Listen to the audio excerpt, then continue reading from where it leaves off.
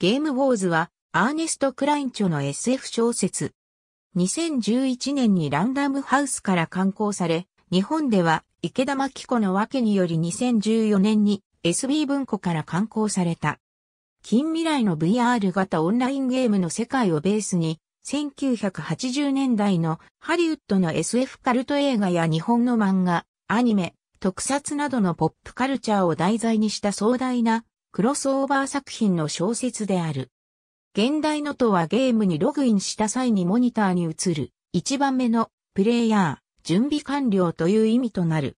2018年にスティーブン・スピルバーグによって映画化され、その際、放題は現代のレディプレイヤー1に戻された。2021年に続編レディプレイヤー2が刊行された。2041年、世界は深刻な社会不安に陥っていた。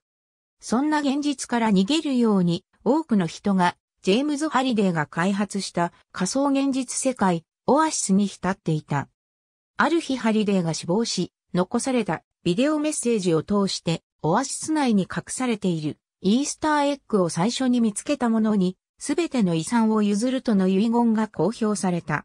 その日から世界中でエッグの争奪戦が始まった。ありがとうございます。